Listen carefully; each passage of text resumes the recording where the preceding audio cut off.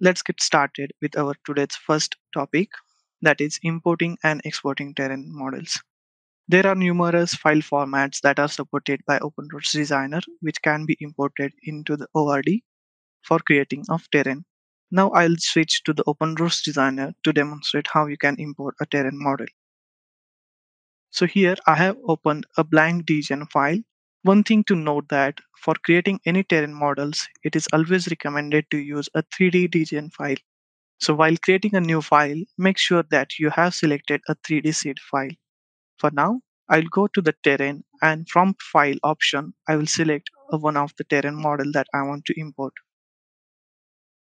For example, here I have selected this survey land XML file that I want to be imported in this DGN file. So I'll select the survey and click on done. So in the import terrain dialog box, we have the opportunity to select a feature definition for the imported terrain models. So it is recommended to set your feature definition while importing the terrain itself. So here I will set my feature definition as existing triangles and I will click on open. Once the process of importing terrain is completed, you can click on fit view to view your terrain model. So as we can see, the terrain is imported using the land XML file. I'll switch back to the presentation to discuss the static and dynamic rules. While working in OpenRoads Designer, it is important to understand what are the static and dynamic rules and how they play important role in upgrading our terrain files. So static rules are basically created when we use some of the import from file tool, ASCII import tool, or point tool, etc. Whereas the dynamic rules get created when we use a survey or we create a terrain from element or we use a complex terrain or clip terrain models. Static rules uh, does not get automatically updated if there is any change in the original data source, whereas the dynamic rule terrain models will get automatically updated depending upon the how element changes.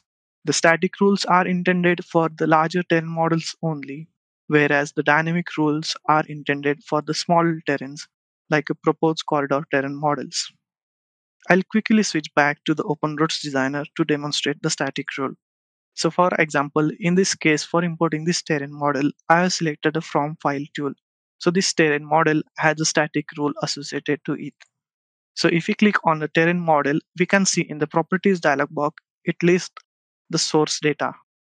So if there is any change in the source data, that date update will not get incorporated into this terrain model automatically. In order to make changes into this terrain model, we'll need to go ahead and update the data source. So in order to update the data, I'll click on the terrain model. And once the pop-up menu occurs, I'll click on update from the source. Once the process is done, the terrain model will get updated according to newly added terrain data.